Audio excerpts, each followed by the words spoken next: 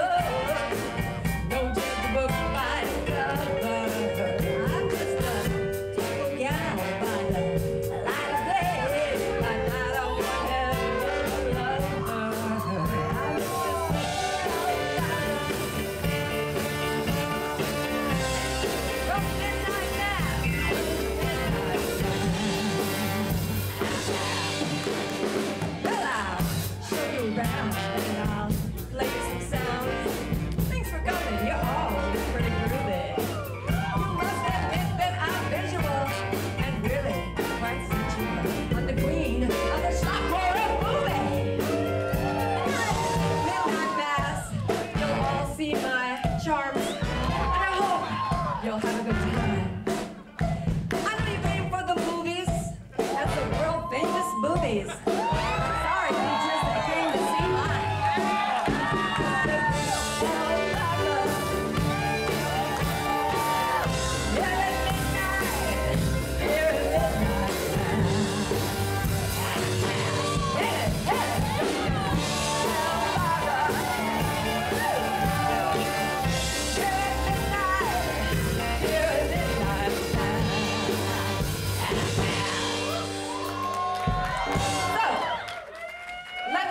one thing more before we screen tonight's gore.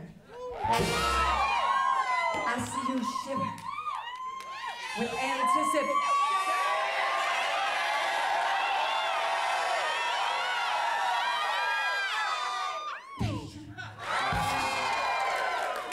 You've been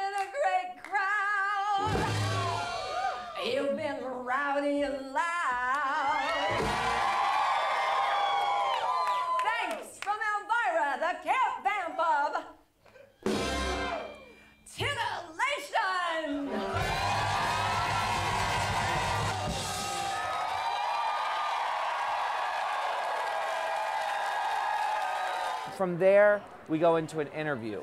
The interview includes Mr. Lobo, who's a fantastic horror host who just happens to be somewhat local. He does his show out of Sacramento, but it's all over the country. I was flipping through TV, and I actually thought uh, when I came across your show, I thought I thought it was something vintage. I thought it was like from the 50s, and I remember watching it and going like, "That is some fucked up shit." And it, it, this is not meant as a humongous insult, but it reminded me of Martiny, really, because because you were like talking to your plant and you were, he was getting he was getting mad because he thought his plant was getting more attention than he was. Oh, good stuff. The two of us together, we get the privilege, the honor uh, here tonight to introduce to you again the one, the only. Let's hear it for Elvira, ladies and gentlemen. The first thing I have to ask is, like, are you drinking the blood of infants, or, you know? Yes, that, that's what I'm having right now. Thank you. It's really good too. You look, I mean, when I was, believe it or not, I was a kid in the 80s. And uh, I used to watch your show and just, you know, I, I would. Oh, honey, I have You know what? pantyhose older than you. I do. I do. I I, um, And they're on sale Yeah, in the by the way. lobby right now. Big movie if I can make a buck out of it. Doesn't she look gorgeous, though? I mean.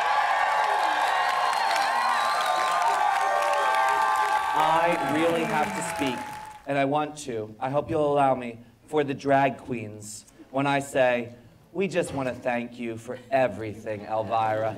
Really, you are, I mean, you are an honorary drag queen, and you, you're amazing. You know what? uh, Thank you. And you know the wacky thing is, now drag queens are looking like me, but I learned everything I learned from drag queens. I was raised by a pack of wild drag queens. And they taught me how to do the makeup and how to walk and how to talk and like now it's like come full circle and you know and drag queens are like blaming me. I mean, uh, uh, thanking. Thanking you. Do you have any beauty secrets for us? Some tips you can share? I was going to ask you the same question. Just a little makeup. Well, let's start with, uh, you know, protecting your skin. For you know, you need like an SPF every day of over 5,000, which you know protect that ghostly pale complexion. Also, you need some uh, blood red lipstick, which you know sends out the message like I bite. I must say that um, it's a good thing the lights are in our eyes because I saw some of the audience coming in tonight. And let's face it, folks, you guys are weird. it's totally weird. Um, but you know what? That's San Francisco for you. Now, Elvira, I have an unrehearsed question. Uh, you're the queen of Halloween. This year, how can we see more of you? Ooh, well. Mr. Lobo! I don't mean uh, square inches. I just mean a personal appearance. Oh, personal appearances and stuff. I'm doing a lot of merchandise. I'm doing Dream Halloween this year where Mattel is going to make a special edition Elvira Barbie. You are the queen of merchandise. And I must, I, I do admit, I have the boat of candles and the posters, the CDs, the DVDs, the t-shirts, the tote bags, the, you know, all of that available in the lobby tonight. But, Colostomy bags, the Elvira colostomy bag. but no, you, you really, do you really? No, you Oh, oh, yeah, I have that too. But, um, the Peaches Christ colostomy bag. It, you know, that would probably sell pretty well, actually. Sick City. So, um, I'm literally thinking, of, can we do that? So what's been, of all the merchandise, all the Elvira merchandise, what has been your favorite thing? Well, I gotta say, you know, I have done a slot machine and a video game, but I gotta say, and, and of course the beer and the perfume, but I think my favorite one has been the pinball machine. I've done two pinball machines. I'm a pinball kind of gal. I think my scariest one was the uh, a little smelly thing you hang in the car, a little Elvira smelly thing. Uh, because we tried to capture like the flavor of my television show, and so it smelled like cheese, which was not a good smell for your car. That's what Mr. Lobo's car smells like. Yeah, I know. Do you know what I was... It's the last night. It's the last night of Midnight Mass. It's time to party! Um, I know, it's gonna make me sad. I don't want to talk about it yet. Um, you know, when I was a kid, I used to have a poster of yours in my bedroom where you were in a bathing suit and it said moon bathing. Oh, is that And what you were- happened? Yes. well, you know, my mother blames you for a lot of things, actually. And lately, though, when I'm touring around the country, I am finding that more and more little horror hosts are coming out of the woodwork. In every city I go to, there'll be like two or three horror hosts, and I, I will always give them advice. Coming out of the closet. Advice coming out of the closet, exactly. We're here, we're fear, we're horror hosts. I like always, uh, you know, meet several, and I'll always give them advice, like, you know, stay out of the way of the front of my car when I leave. and, uh, I'm always happy to help them out.